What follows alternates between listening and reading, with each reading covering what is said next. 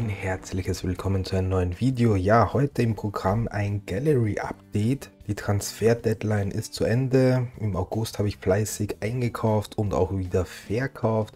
Und ansonsten am Ende des Videos gibt es noch die Verlosung der Karte Dani Jimenez, ein Goalkeeper jeder, der mitgemacht hat bei dem Video und hier beim 500 Abo Special dort fleißig kommentiert hat und Abonnent des Kanals ist, ähm, ist dabei bei der Verlosung.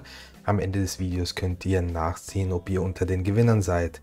Legen wir direkt los. Wir haben aufgehört bei Shusaku Nishikawa für einen Monat, den ich mir geholt habe. Der hat mir fleißig Rewards schon gebracht ein absoluter Premium-Keeper, wer den noch nicht hat. Ist halt das Problem halt vom Alter, er ist jetzt auch schon 36, 37 bald, aber die Scores haben mir doch einige gute Ergebnisse eingebracht. Den St. Clair, den wollte ich schon länger, länger haben. Minnesota ist halt so das schwächere Team aber die haben jetzt einen Transfer gemacht, wo man auch an den Ergebnissen sieht, dass ähm, ja, so ein Stabilisator im Mittelfeld, ähnlich wie Busquets in, bei Miami, schon Gold wert ist. Natürlich, Messi ist nochmal eine Hausnummer höher dann noch oben drauf, wenn man dann Stürmer hat. Minnesota hat sich ja nur Timo Puki geholt, aber die letzten fünf Spiele, davon vier Siege, das ist schon relativ stark. Außerdem ist er wahrscheinlich Nationalkeeper von Kanada, würde ich mal so tippen, bis 2026. Ich denke mal, Borjan wird es nicht mehr sein und ansonsten sehe ich da keine großen großen Konkurrenten. Ansonsten René Kedira habe ich mir geholt, der war ja jetzt verletzt bei Union Berlin, sollte nach den Länderspielen zurückkehren. Habe ich mir auch als Rare-Karte geholt. Ansonsten viele Low-Budget-Karten, ein bisschen was Spekulatives wie Christopher Ayer. Der hätte eigentlich zu Brügge wechseln sollen, dann wäre der Preis irgendwo zwischen 12, 15, 16 Euro wahrscheinlich eskaliert. So ist es dabei geblieben. Ist halt in der Premier League, aber ist trotzdem ein guter Spieler.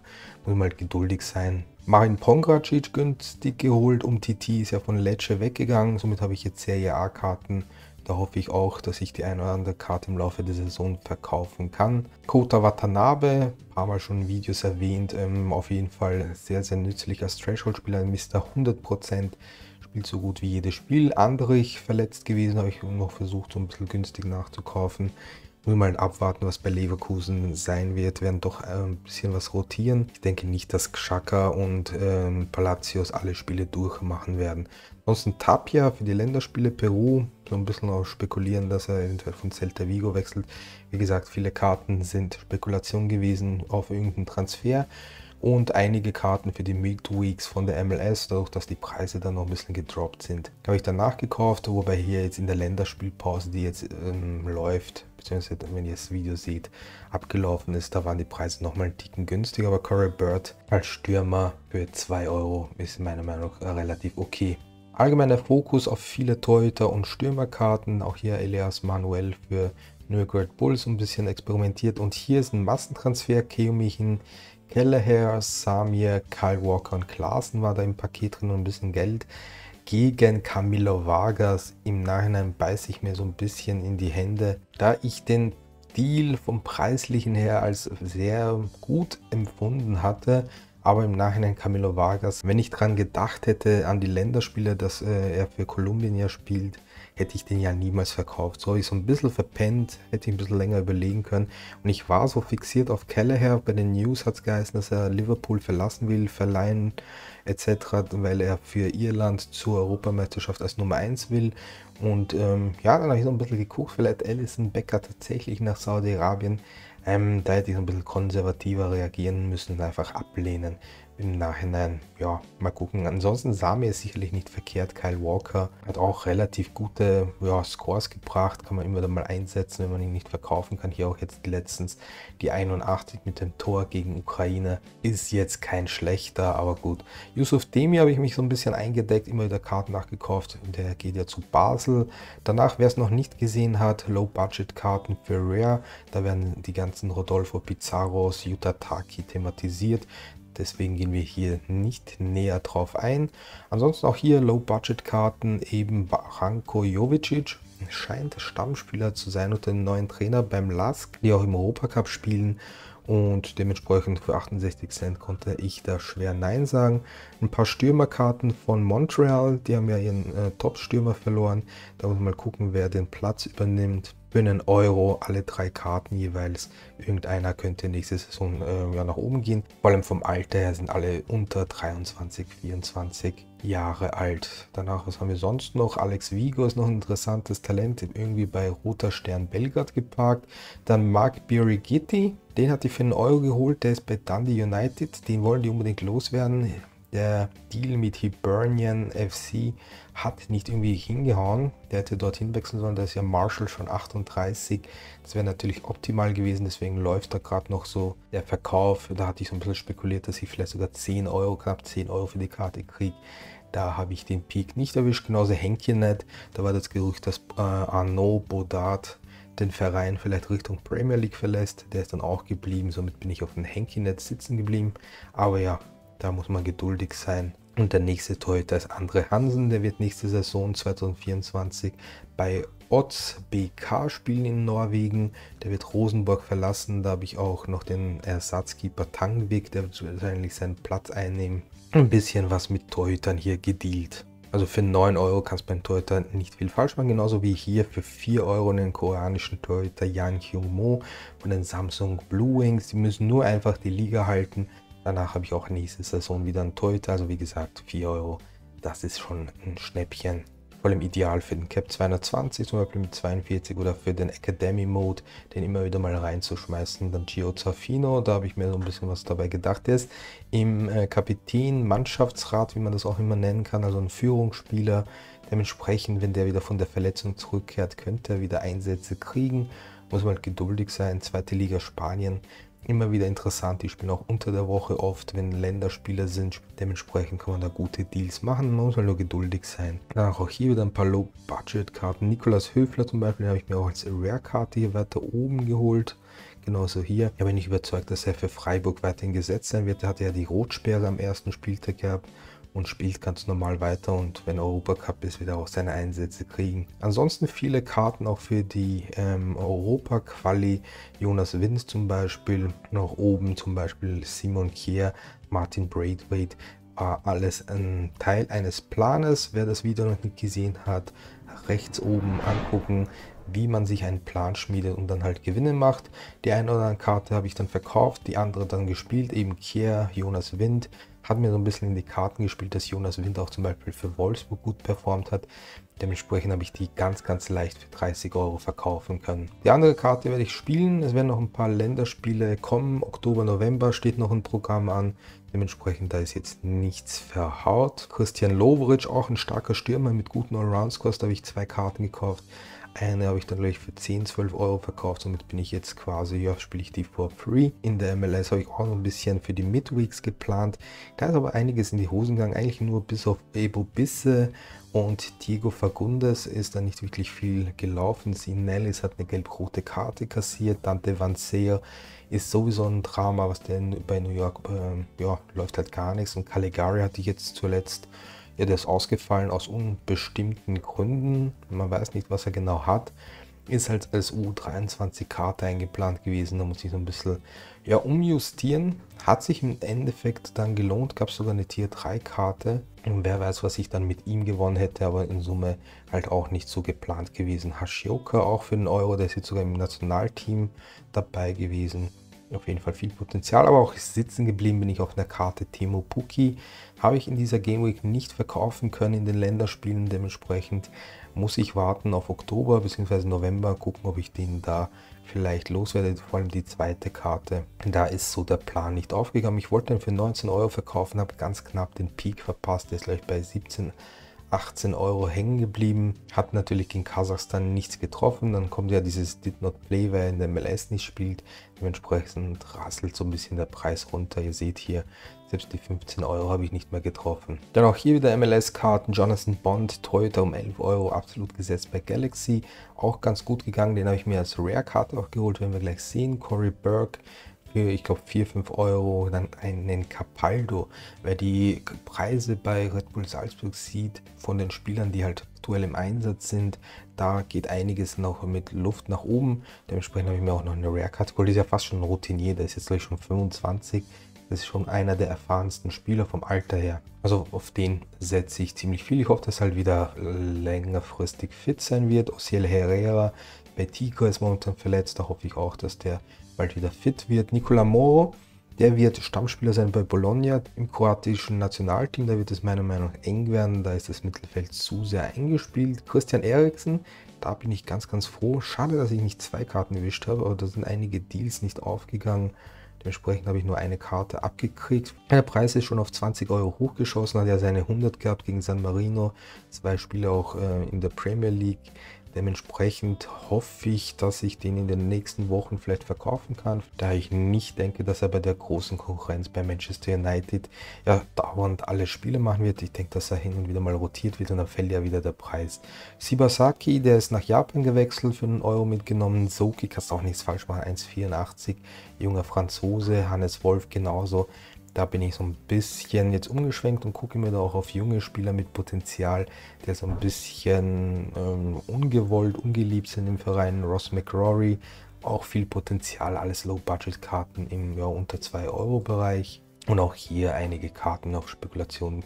Bono habe ich mir zwei Karten geholt, der ist ja jetzt nach Saudi-Arabien gewechselt.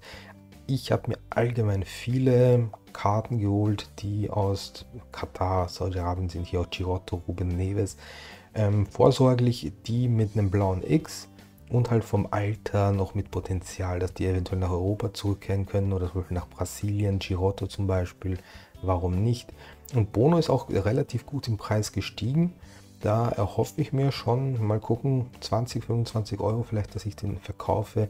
Und somit spiele ich die zweite Karte for free. Man weiß ja nie, kehrt er vielleicht wieder nach Europa zurück in ein, zwei Jahren, irgendwo nach Spanien dementsprechend auch ganz, ganz gut. Und hier auch die restlichen Karten. Noch hier mit Sainsbury. Dann Luca Pripp, Stürmerkarte bei 1, 2 Euro. Da hatte ich eben über Twitter rausgefunden, dass der nach Türkei wechseln wird. Das war eigentlich schon relativ lange fix, bis es äh, halt komplett am Ende durch war. Entsprechend günstig eingesammelt. Jetzt muss er halt nur noch richtig spielen und performen dass man da ein paar gute Preise erzielen kann. So eine Stürmerkarte kann schon mal gut auf 10 Euro gehen. Und vor allem die Türkei spielt im Winter durch. Das ist so meine Idee, da muss man halt geduldig sein und ja, abwarten, dass er dann im Dezember seine Partien kriegt. Ansonsten noch einige Deals, die nicht so hingehauen haben. Ein paar günstige Karten, die ich gekauft habe. Hier wieder ein paar Karten aus der arabischen Welt, eben Dabur, Alcacer. Lazaro habe ich mir günstig noch geholt, der ist jetzt fix zu Torino gewechselt, da muss man auch warten, dass er dann auch safe spielt. Said Janko, der Saidi Janko, der ist bei Young Boys Bern gelandet, für 30 Euro kannst du nichts sagen, der spielt auch Europacup. Somit hat man den unter der Woche auch eine Karte und auch sehr, sehr gut im Scoren und liefert auch sehr, sehr gute Punkte. Diallo habe ich mir geholt von Lustner, vielleicht glaube ich einen Ticken zu teuer, 2 Euro. Ist glaube ich jetzt auch wieder, ne, liegt noch immer bei 2 Euro. Ein Riesentalent von Clermont an Lustenau ausgeliehen, ist so eine Art Dante von Sturm Graz, ein sehr, sehr schneller Spieler. Der wird auch seinen Weg gehen. Zielinski, da habe ich auch zwei Karten gehabt, eine verkauft, Länderspiele und ist ja auch bei Napoli geblieben. Preislich ist der gleich auch jetzt irgendwie bei 25, 30 Euro noch irgendwie im Dreh. Gut, jetzt bei 23, sollte aber bei Napoli auch gesetzt sein. Dementsprechend auch gut. Luca Pripp noch eine Karte und Lars Feldweg, da habe ich jetzt auch noch eine Rare-Karte mir geholt. Ja, der hat 15 Spiele Sperre bei FC Souvon. Entweder sitzt er die aus macht sich ein schönes Leben oder er wechselt halt wirklich in die Türkei. Das war so die Idee. Jetzt mal gucken, was da passiert für 25 Euro. Also der kann schon einiges, egal ob er jetzt dort bleibt oder in die Türkei wechselt. Also Torriecher, dann hat er auf jeden Fall, wenn man sich die Scores ansieht. Muss halt geduldig sein, preislich. Ich glaube, tiefer wird es eh nicht mehr gehen. Dann wie immer hier wieder ein paar Spekulationen, hatte ich ja in dem Rare-Video erwähnt, warum ich mir Low-Budget-Rare-Karten hole. Da wird das alles thematisiert. Erchankara habe ich mir geholt, eben aufs Gerücht, dass er in die Türkei wechselt. Das ist dann passiert zu Samsonspor. Da habe ich mir auch noch eine Rare-Karte dann geholt. Oyazabal, die Hoffnung stirbt zuletzt. Habe ich jetzt äh, insgesamt zwei Karten. Jetzt hat er mal einen Scorer-Punkt gemacht gegen Granada. Vielleicht kommt er langsam wieder in die Pötte. Ist ja eigentlich absolut gesetzt und ja, eine Vereinsikone bei Real Sociedad im Prinzip. Die Mata auf ein Gerücht, dass er in die Türkei wechselt, das hat auch geklappt. Samaseko ist geblieben. Mal gucken, ich finde, ist ein sehr, sehr starker Spieler. Vielleicht passiert da noch irgendwas in die Richtung. Dann haben wir noch Julio Furch für einen Euro, ein bisschen die Karten verbilligt. Ein paar Karten aus Saudi-Arabien hier drinnen. Gerade auf diesen Asia Champions League Bewerb, da hoffe ich so ein bisschen was gehen könnte. Gerade die mit dem blauen X, wenn die so ein bisschen günstiger sind und auch jüngere Karten, zum Beispiel auch äh, Kim Min Hyuk, wenn der jetzt nach Südkorea wieder zurückkehrt, kannst du ihn wieder spielen oder auch Bang Yong Wo oder wie der heißt. Der hat immerhin bei Ulsan Hyundai Stammspieler gespielt. Und ja, hier noch ein paar Rare-Karten, die dazugekommen sind. Nathan de Medina hat nicht hingehauen. Da war das Gerücht, dass er zu Hertha BSC wechselt. Hätte sie natürlich angeboten dann. Aber ich habe mir Jonathan Bond geholt. Ich habe einen Rare-Keeper noch unbedingt gebraucht. Und die MLS Rare Keeper sind relativ günstig. Gerade die, die keine Chancen mehr haben auf die Playoffs. Und der hat ja noch ein Jahr Vertrag. Und da ist halt der Vorteil, dass er halt eben amerikanischer Doppelstaatsbürger ist und halt nicht viel kostet vom Gehalt her. Habe ich lange recherchiert, wollte Sean Johnson zuerst nehmen, der war noch einen Ticken günstiger. Haben wir danach äh, Jonathan Bond, den kannst du wenigstens jetzt noch spielen.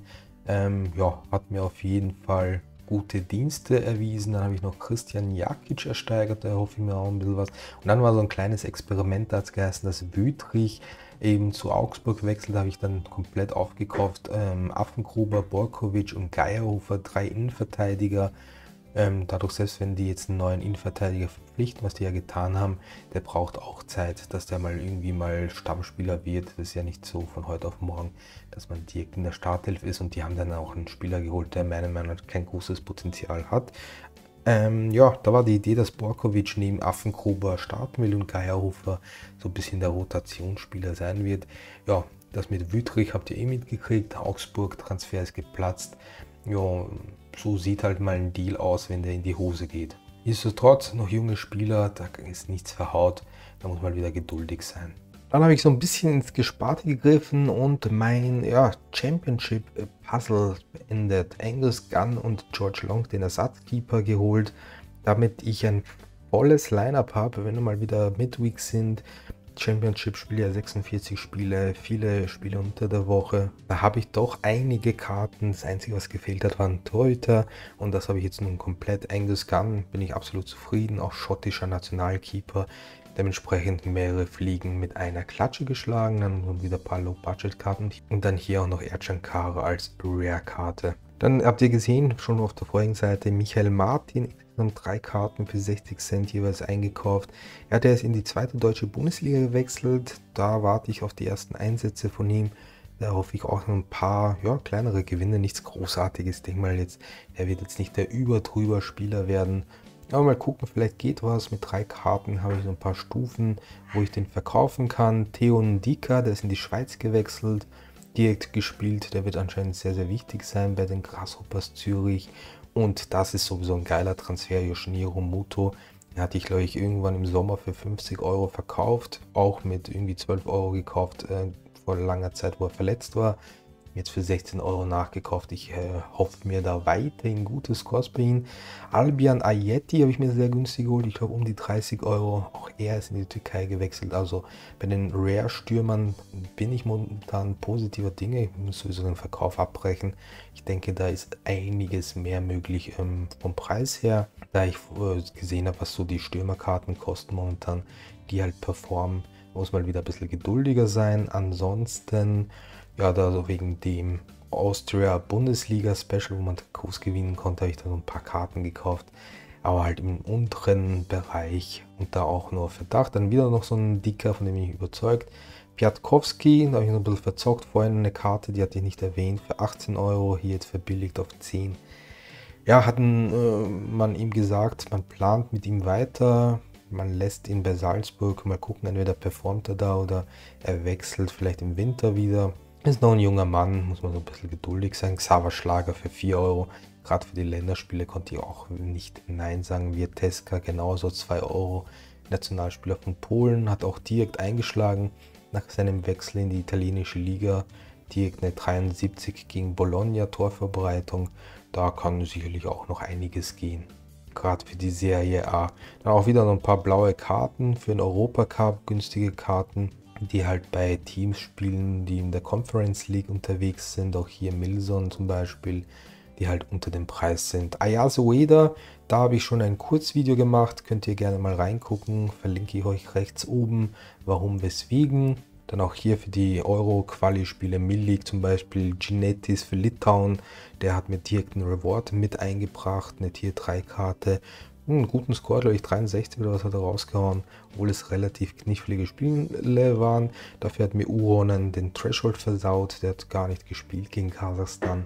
Ja, mal so, mal so. Dann Callum O'Hara, da erwarte ich mir einiges, auch ein Championship-Spieler bei Coventry City. Nummer 10 hat eine schwere Verletzung gehabt. Sehr beliebt bei den Fans und scores-technisch, bevor er halt sich verletzt hat, war das sehr stark gesehen, wie lange der ausgefallen ist. Das waren so seine Scores, bevor er ausgefallen ist. Kann man nicht meckern und für 2 Euro sicherlich kein schlechtes Invest für die Zukunft, denke ich mal. Dann so ein bisschen risky, Thomas Lemar, doch einige Spieler ist von Atletico gegangen, äh, einige verletzt. Ich denke, dass der so ein bisschen Einsatzzeit kriegt, auch eben in der Champions League. Das andere sind so ein bisschen Rewards. Rafinha, auch zu dem habe ich ein Kurzvideo gemacht, rechts oben verlinkt, warum, weswegen ich ihn mir geholt habe. Emanuel Aivo, der ist jetzt in die äh, Championship nach England gegangen, zu Birmingham City. Ich habe mir letztens nur mal eine Karte so als Verdacht genommen. Ich denke, dass der Riesenpotenzial hat. Ähm, selbst wenn, dann kehrt er vielleicht nach Österreich zurück. Aber ich denke, der hat gute Chancen, dass er sich dort durchsetzt. In Italien war es ein bisschen schwierig. Allgemein denke ich, dass Pflaster in Italien ist für österreichische Spieler immer schwierig. Der einzige eigentlich so, der ein bisschen performt, ist Stefan Posch. Bisschen Arnautovic natürlich, wobei der halt auch immer der Wehwehchen und Verletzungen hat. Dementsprechend mal da abwarten. El Ghazi auch gehofft, dass der Wechsel von PSW hat sich auch einiges zerschlagen. Rani Kedira Rarecut und Cengiz Ünder. Die Idee war, dass ich meinen Icardi verkaufe und auf den umschwenke. Der ist ja jetzt zu Fenerbahce gewechselt. Und aufgrund der Legionärsregelung, die da in der Türkei ist, erhoffe ich, dass der zumindest in der Liga absolut gesetzt ist. Ich denke mal im Europacup, da kann schon mal sein, dass die den mal auf der Bank lassen. Und im Nationalteam scheint er auch gesetzt zu sein, hat auch direkt einen Scorer gemacht. Denk mal, in Summe ist es okay preislich kann man vielleicht noch warten, wenn das äh, bergab geht, dass man den vielleicht mal auch günstiger kriegt. In Summe auf jeden Fall bin ich schon zufrieden, dass ich ihn geholt habe. Dann haben wir noch ein paar günstige Karten. Skov, Pantemis, da hoffe ich so ein bisschen, dass sich was tut. Callum Styles ist Nationalspieler von Ungarn, der ist jetzt in die dritte Spielklasse Englands gewechselt, also in diese äh, First League oder wie das heißt. Ist noch relativ jung, ich glaube 23 Jahre alt, kann auch immer wieder mal irgendwo zurückkehren. Ich glaube, dass er nur verliehen ist. Mal gucken, vielleicht steigen die auch auf. Ich glaube, Barnsley heißt das Team. Müssen ich nochmal nachgucken. Dann Timo Werner. Die Hoffnung stirbt zuletzt. Jetzt ist Dani Olmo verletzt. Vielleicht war das so ein, äh, den Treffer, den ich mir erhofft hatte, dass er dann mehr Spielzeit kriegt. Vielleicht trifft er mal wieder ein Tor. Hat er eine, was hat er denn? 25 Spiele ohne Tor. Äh, mal abwarten, aber ich habe nur eine Karte versucht, mal auch gerade so wegen der Champions League Rotation. Genauso Iglesias duelliert sich mit Willian José, denke mal, wenn die letzte Saison so rotiert haben, vielleicht diesmal wieder. Mal spielt der, mal spielt der für 3 Euro eine Stürmerkarte. Da kann ich nicht Nein sagen. Kota Mitsunuma, da hat sich der Konkurrent verletzt für 75 Cent. Mit dem habe ich schon sehr, sehr viele Rewards gewonnen vor, in der Anfangszeit, vor zwei Jahren, wo ich mit Soraya angefangen habe. Der hat mir viele Rewards gebracht. Ähm, ist jetzt schon 33 oder so, aber für 75 Cent, gerade für solche Midweeks, passt der ganz gut. Macau, Texera, genauso lange verletzt, wenn der zurückkommt. Ist eigentlich ein Monster, ein Innenverteidiger-Monster. Da muss man so ein bisschen gucken. Marco Canan, Talent, der von Anderlecht zu Kortrijk verliehen ist. Ja, vielleicht kriege ich den sogar noch mal günstiger. Ich will auf jeden Fall zwei Karten von dem haben. Muss man so ein bisschen abwarten. Adam Webster war in so einem Deal dabei wo ich dachte, er schadet nicht, eigentlich bisher Stammspieler bei Brighton Albion und ich spiele ja auch Europacup. Coyote hatte ich gehofft, dass der in der Türkei noch irgendwie einen Deal zustande kriegt. Da hat es geheißen, dass das eigentlich safe durch ist. Ich glaube Pendixpor oder wie die heißen, da hätte hingehen sollen. Hat nicht geklappt. Maxi Gomez komplett unterpreist. Der ist zu Cadiz jetzt gegangen. Ich denke, der könnte da richtig stark performen. Ich überlege eventuell noch eine Rare-Karte mir zu holen. Dann mal ein bisschen gucken, wie das preislich sich noch entwickelt. Timo Horn, ja, langsam wird es eng für ihn. Interview gelesen. die Hoffnung vielleicht, dass der da noch irgendwo wechselt. Nizza wäre jetzt ein Club gewesen, wo er gut hingepasst hätte. Wahrscheinlich seine Reputation so ein bisschen zu niedrig für deren Niveau. Ansonsten ein paar äh, Karten für die kommende Game Week, beziehungsweise für die laufende, zum Beispiel Del Moral für die U23, glaube ich, habe ich den geholt. Dann Marcus Lopez, Steven Mendoza, John Lucas Nishimura für die nächste Game Week. Drei, vier Karten, die so ein bisschen als Ergänzung dienen. Und dann war es eigentlich schon. Die letzte Karte, die ich mir noch geholt habe, war Kim Yin Hyun. Toyota, der war jetzt im südkoreanischen Nationalteam dabei als einer der drei Keeper, also von Klinsmann nominiert worden. War lange Zeit verletzt, vorher scores-technisch relativ häufig Clean Sheets gemacht.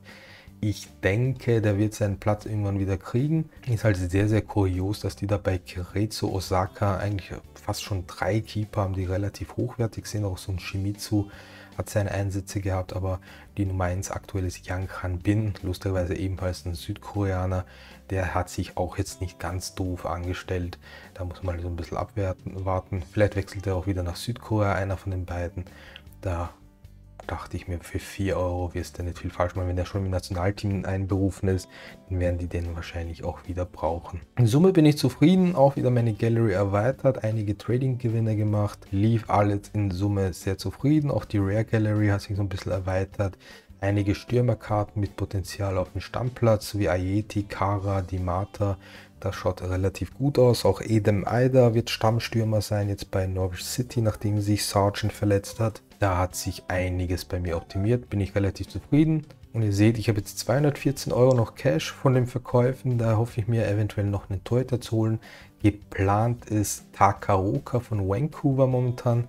Ähm, wenn ich die Auktion nicht gewinnen würde, muss ich mir so ein bisschen umschwenken. Ich will schon noch einen Toyota haben für bestimmte Midweeks, dass ich spielen kann. Aber wenn es nicht klappt, mal gucken. Sean Johnson ist noch ein Kandidat, den ich im Visier habe von Toronto. Und danach wäre eigentlich das Größte abgeschlossen. Danach geht es eigentlich dran zu scouten nach äh, der einen oder anderen Super Rare Karte. Das ist schon der Plan. Dazwischen ist noch ein bisschen NBA, da will ich noch ein bisschen Rare Karten gucken, aber da ist momentan so wenige Auktionen. Ähm, mal gucken, ob ich da vielleicht sogar den Zug schon fast wieder verpasst habe. Ähm, ja, geht auch bald los. NBA, was haben wir da? 50 Tage? Ja, 44 Tage nur noch. Da wird es auf jeden Fall auch bald Videos geben. Insgesamt hatten wir 88 Kommentare.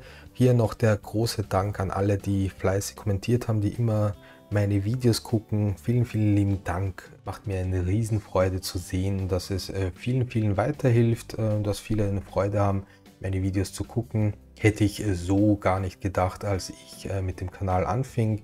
Deswegen macht es mir riesen Spaß und ich denke mir immer neue Sachen aus. Es wird äh, demnächst immer Neueres geben, also so mehr so Rare Talks, Kurzvideos.